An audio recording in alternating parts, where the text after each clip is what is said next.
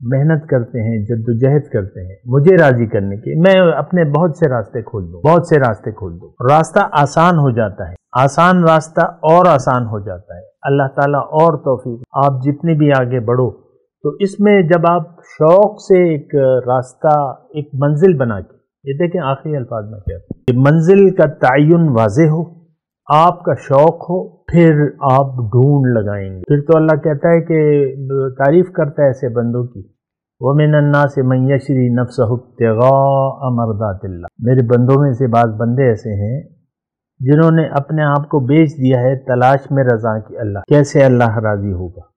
कैसे अल्लाह राज़ी होगा? अब अल्लाह की रजा का ताल्लुक तो अल्लाह के बंदे को राज़ी करने से आउज़बिल्लिमिनशैतरजीम बसमीम सल्लि अला सय्यिदना मुहम्मद मादनजूद वलकरम आलिहि वसल्लम सामईन व नाजरीन कराम अस्सलाम वालेकुम रहमतुल्लाहि व बरकातुहू आज का हमारा मौजू ये है कि इंसान को क़ुरब इलाही जल्दी कैसे मिल सकता है? देखें, ये जो मैंने आपको कहा ना कि क़ुरब इलाही तो सारे कामों से आसान काम यही है।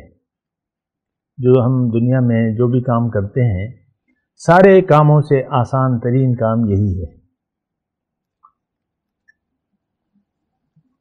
वो शायर ने कहा है कि लोग आसान समझते हैं मुसलमान होना। है ना? लेकिन मैं ये कह रहा हूँ कि सारे कामों से आसान काम यही है। यानी कुर्ब इलाही। तो उसकी वजह यह है ठीक है उसकी वजह है कि हजूर सल्लल्लाहु अलैहि वसल्लम फरमाते हैं कि कुल्ल मैसर लमा कला हर मखलूक के लिए वो काम आसान कर दिया गया है, जिसके लिए पैदा की गई है। अब इंसान अकल के लिहाज से मक्खी से ज़्यादा मक्खी से, शहद की मक्खी से ज़्यादा होशियार है। लेकिन वो शहद नहीं बना सकता। शहद की मक्खी के मुकाबले में फेल है। ये नहीं, कभी बना सकेगा? नहीं बना सकेगा। फूलों से आप रस कैसे लेंगे? नकली शहद तो आप बना सकते हैं, लेकिन जो, वो शहद। तो ये अब अब मक्खी जो है, अब सिर्फ़ ये बात देख लें ना मक्खी के लिए शहद बनाना। आसान है कि मुश्किल है? आसान। अब हम जो है, गोश्त कच्चा गोश्त नहीं खा सकते। चबा भी नहीं सकते, खा भी नहीं सकते। लेकिन शेर के लिए कोई मसला है? उसके लिए तो कोई मसला नहीं है। अच्छा मगरमच्छ जो है बड़े बड़े बड़े जो, यानी हिरन को निगल लेता है कि नहीं? पूरे का पूरा निगल लेता है। बाज़ अवत सांप भी निगल लेता है। जो भी चीज़ें। हम हम तो नहीं कर सकते। मगर मच को कोई छोटा हिरन निगलना कोई मसला है? हमारे लिए तो है। तो ये मैं एक आम बात बता रहा हूँ। ये अल्लाह की कुदरत है, अल्लाह की खलाकियत है। अल्लाह ताला ने हमें अपने लिए बनाया है। किसी और मखलूक के लिए एजाज़ नहीं है।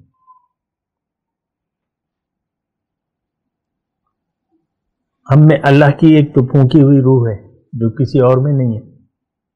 फिर अल्लाह फरमाता है, मैंने तुम्हें अपने हाथ से बनाया है।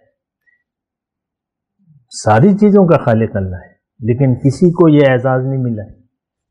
खलक तो भी ये दैया तो देखें, ये बात जो है, ये बात समझ लें ज़रा। ये बहुत आसान है।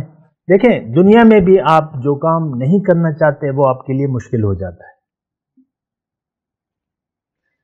जिसके लिए आपका शौक ना हो, जो आप ज़रूरत ना समझते हो, वो तो काम आप करेंगे नहीं।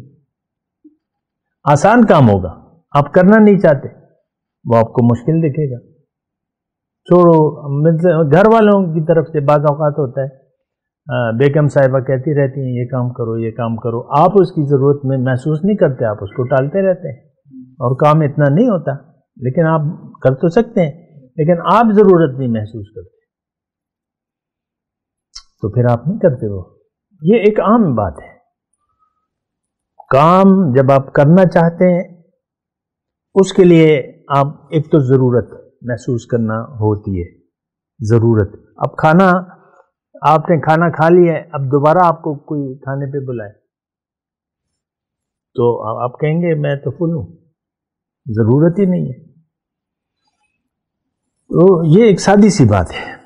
जब ज़रूरत नहीं महसूस करेंगे, शौक नहीं होगा, अज़म नहीं बनेगा, इरादा नहीं बनेगा, काम नहीं होगा। आम ये बात है। हमारे, अभी, यानी कुछ अरसा हुआ ये नाजरा का तो अभी ज़्यादा रिवाज हुआ है। हमने ऐसे लोग देखे हैं जिन ख़त्म कुरान के मौके पे वो सिपारा नहीं लेते थे। आगे दे दो, मुझे पढ़ना नहीं आता। ऐसे बुज़ुर्गों में ऐसे हमने देखे हैं। ख़त्म कुरान होता है ना? मुझे नहीं आता इसको देखो। बाद ले लेते हैं, वो हर सतर पे बिस्मिल्लाह पढ़ते रहते हैं। अब कुरान मतलब उनको नाजरा भी नहीं आता। दाढ़ी सफ़ेद है, बूढ़े हैं। अब भी हैं ऐसे, लेकिन छोड़ दें। अच्छा कुर्ब इलाही की मैं बात कर रहा हूँ। कुर्ब इलाही से ज़्यादा आसान काम कोई है नहीं। अल्लाह ताला का रास्ता आसान है। कुरान में फरमाया मा जाकुम फिद्दीन मिन हरज। दीन में कोई तंगी रखी नहीं है मैंने। और जो इरादा कर लेता है अल्लाह ताला, वो आसान रास्ता उसको और आसान कर देता है। बात सारी शौक की है। और एक हदीस मैं ज़रूर आपके साथ शेयर करूँगा कि बंदा, मैं तो बंदे के इंतज़ार में होता हूँ। जब वो मेरे पास एक बालिश आता है तो मैं उसके पास एक हाथ करीब आ जाता हूँ। वो एक हाथ करीब आता है मेरे पास तकर्रब तो इलेह बान। दो हाथ में और अगर मेरे पास वो चल के आता है तो मैं उसके पास दौड़ के जाता हूँ। हदीस कुछ सी है मुस्तनद हदीस है। तो आसान हुआ कि मुश्किल हुआ? आसान हो ये तो देखें हमारा तो शौक नहीं है। हमारा शौक तो देखें असल चीज़ तो शौक है। ये एक बग, हर चीज़ में ज़रूरत और शौक। ज़रूरत हो तो शौक ना हो तो इंसान हज को भी नहीं जाता था। ऐसे लोग भी हैं। हज कर सकते हैं। बहुत पैसा है। शौक ही नहीं है।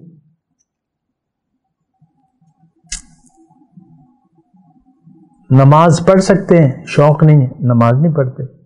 डिले करते रहते हैं। फिर नमाज़ का टाइम निकल जाता है। वगैरह वगैरह जो भी है। रोज़ा रख सकते हैं। क्योंकि नहीं यार। तो वैसे एक बात करूँ मैं, शौक। वो इकबाल ने एक शेर भी कहा है ना कि इश्क की एक जस्त ने कर दिया किस्सा तमाम। वरना इस ज़मीन आसमां को बेकरां समझाता मैं। फिर हमारे शेख हमें एक बड़ा अच्छा वाक़ सुनाते थे कि ज़ाहिर मर्दान की वो मौलाना रूम ने असल में ये वाक़ बयान किया है तो लेकिन वो अपने, हमें समझाने के लिए कि अपनी बाग है हमारे शहर में। लोग जाते हैं सैर वगैरह के लिए। वहाँ एक चूंटी थी अपनी बाग में। चूंटी। उसको उसने सुना, मिसाल है समझने के लिए। उसने तारीफ़ सुनी काबे की कि अल्लाह का घर है, ये ऐसा है, वैसा है। उसको शौक, उसके दिल में शौक पैदा हो गया। कौन थी चूटी थी? दिल में शौक आ गया। जब शौक पैदा हुआ तो वो फिर उसकी खोज में लग गई। पूछने लगी इधर उधर, बस अपने मन की बातें। जैसे कि आपको पैसा कमाने का शौक है, आप देखते रहते हैं कि ढेरों पैसा कैसे कमाया जाए। मिसाल के तौर पर या कि वो खाने पकाने का शौकीन है, वो अपने खाना पकाने की तरकीबें देखता रहता है, या जो भी शौक है। तो शौक तो वो चोटी को शौक आ गया। वो फिर पूछ, पूछती रही पूछती रही। किसी ने, बताने वाले ने कहा कि भाई वहाँ कबूतर चौक है। वह नज़दीक ही है, हरम के। वहाँ कबूतर हैं। फिर उसने जुस्तु कैसे, कैसा रंग, कैसे तो उन्होंने फिर मालूम कर लिया। तो एक दिन फिजा अच्छी थी। वहाँ के कबूतर उड़े कुछ और यहाँ अपनी बाग में आके बैठ गए। प्रवास कर सकते हैं तो अब इसके नज़र में कबूतरों का बस वो आ गया कि कबूतर, हरम में कबूतर। तो वो कबूतर आए, उड़े, देखा, निशानियाँ देखी, वही निशानियाँ थी। तो ये चुपके से जाके उसके पाँव पे चिमट गई। चूटी कभी पाँव पे चिमटी? और चूटा? तो चूटी बस वो उसको चिमट गई जाके। तो मौसम अच्छा था, कुछ देर वो दाना वाना खाया, इधर उधर उड़े और फिर वापस चले गए अपने वहाँ पर। हरम वापस चले गए। और चूटी काबे को पहुँच गए। अच्छा मैं आपको बात कर रहा था कि शौक की। तो फिर वो मौलाना रूम फरमाते हैं कि काब मकसूद अगर बाशद हजारा साल रहा, नीम गामे हम नबाशत शौक चू रहबर शुत कि अगर काब मकसूद, अगर तुम्हारा मकसद का काबा तुमसे हज़ारों मील दूर हो लेकिन वो आधा कदम भी नहीं है, अगर शौक तुम्हारा रहबर बन गया। तो मसला सारा शौक का है। शौक होगा तो आप रास्ते ढूंढेंगे। कुरान में है, अल्लाह फरमाता है, वल्लजीन जाहदूफीना लना जो लोग मेरे बारे में मेहनत करते हैं, जद्दोजहद करते हैं, मुझे राज़ी करने के मैं अपने बहुत से रास्ते खोल दूँगा। बहुत से रास्ते खोल दूँगा। रास्ता आसान हो जाता है। आसान रास्ता और आसान हो जाता है। अल्लाह ताला और तौफीक देता है। आप जितने भी आगे बढ़ो तो इसमें जब आप शौक से एक रास्ता, एक मंजिल बना के, ये देखें आखिरी अल्फाज में कहता क्या कि मंजिल का तयन वाजे हो, आपका शौक हो, फिर आप ढूंढ लगाएँगे। फिर तो अल्लाह कहता है कि, तारीफ़ करता है ऐसे बंदों की। वो मिनन्ना से मैशरी नफ्सगा अमरदातिल्ला. मेरे बंदों में से बाज बंदे ऐसे हैं, जिन्होंने अपने आप को बेच दिया है तलाश में रजा की अल्लाह की। कैसे अल्लाह राज़ी होगा? कैसे अल्लाह राज़ी होगा? अब अल्लाह की रज़ा का ताल्लुक तो अल्लाह के बंदे को राज़ी करने से है। अल्लाह के रसूल को। उसको महबूब बना लेने से। देखें, जान और माल आपने देनी है अल्लाह को। सौदा जन्नत की कीमत क्या है? मालो जान। अब ये कीमत किसको चुकाएँगे आप? रसूल सल्लल्लाहु अलैहि वसल्लम को। साहबा कहते थे ना, रसूल को फिजा का उम्मी वाबी मेरे माँ बाप पर कुर्बान। और वो तो अल्फाज तो नहीं थे। तो यकीन था उनका। हज़रत बकर का बेटा बाद में मुसलमान हुआ अब्दुलरहमान बिन अबू बकर। तो किसी जंग में वो मुशरकों की तरफ़ से थे और फिर बाद में मुसलमान हो गए। तो बाद में वो हाल बयान कर रहे थे कि अबू फलां गजबे में आप मेरे सामने थे, मेरे निशाने पर थे। मैं चाहता तो लेकिन मैंने छोड़ दिया कि मेरे अब्बू ने। तो उन्होंने कहा कि, बेटे, तुमने तो मुझे छोड़ दिया, लेकिन मेरे निशाने पर आते तो मैं तुम्हें न छोड़ता तो ये शौक था, जज्बा था। तो जज्बा जो है, जज्बा और शौक, ये फिर तलाश करता रहता है। और जो आयत मैं आपके सामने पढ़ रहा था ना मिनन्ना से मैशरी नफ्सगा अमरदातिल्ला कि लोगों में से बाज ऐसे हैं जिन्होंने अपने आप को बेच डाला है तलाश में रजाओं की अल्लाह की। वल्लाह रऊफ़ुम बिलबाद अल्लाह ताला ऐसे बंदों पर बहुत मेहरबान है। और बहुत सी बातें इसमें। मिसाल के तौर पे की मोहम्मद से वफा तूने तो हम तेरे हैं। ये जहाँ चीज़ है क्या? लोहो कलम तेरे हैं। तो मोहम्मद से वफा है।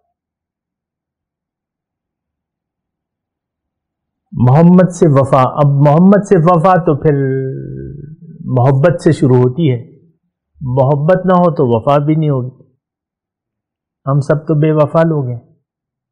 हमारी मोहब्बत तो ज़ाहिर से है। ज़ाहिर रुकावट बन जाती है। उसको हम अबूर नहीं कर सकते। जबकि मोहब्बत तो कुर्बानी मांगती है। मोहब्बत कुर्बानी मांगती है। जलना। जलना मांगती है, शौक मांगती है। एक और शेर शेर हमारे शेख हमें फरमाए करते थे, मौलाना रूम के ये, मन न नखा हम मालो जाहो तम तराक दर्द खा हम सोज खा हम इश्तियाक। मैं मन नखा हम माल। मैं माल नहीं चाहता, जाह नहीं चाहता, और तम तराक नहीं चाहता। दर्द चाहता हूँ, जलना चाहता हूँ। इश्तियाक चाहता हूँ, शौक चाहता हूँ। तो वही बात है कि काब मकसूद अगर बाशद हजारा साल रहा। नीम गा में हम नबाशद शौक क्यों रह बशवत देखें, इस सारे बातों का मैं आपको एक खुलासा निकाल के दूँ, वो ये है कि अगर आपका शौक नहीं है तो आप कुछ नहीं कर सकते। बस जो शौक है, फिर आप वो करें। जो शौक है फिर वो करें। लेकिन रब का शौक जो है वो कुर्बानी माँगता है। लन तनालबिर हत्ता तुनफिको मम्मा तुहिब्बून। तुम नेकी को पा नहीं सकते। जब तक महबूब चीज़ कुर्बान न कर दो। अब सिर्फ़ पैसे तो की बात नहीं है ना। महबूब अपनी जाह भी है, अपनी सब कुछ, जो भी महबूब है आपको। यानी उसका ख्याल दिल से निकाल दो। कुर्बान करने का ये मतलब नहीं उसका ख्याल निकाल दो दिल से। जो महबूब हैं, यानी आप उसको, उसमें लाहीत ले आओ। बेटा है, बीवी है, शोहर है, ठीक है, सारे ताल्लुकात हैं, कारोबार है, लेकिन मोहब्बत जो है बस एक, अल्लाह अल्लाह का रसूल, अल्लाह के बंदे। ये मोहब्बत ना हो तो फिर आप नाकाम रहेंगे ज़िंदगी के सफ़र में। शौक़ अगर आपको नहीं है तो आप फिर जस्तजू भी फिर नहीं करेंगे। ये बात भी नोट करें। शौक़ नहीं है, जस्तजू जब होगी, जब आपको शौक़ होगा। फिर आपके रास्ते फिर अल्लाह आपके सामने रास्ते खोलेगा। वाखिर दावाना अलहमदिल्ला रबाल वाखिर दावाना अलहमदिल्ला रबाल